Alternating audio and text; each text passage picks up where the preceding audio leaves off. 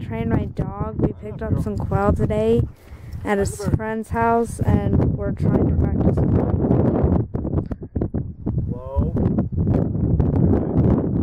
So that's my dog.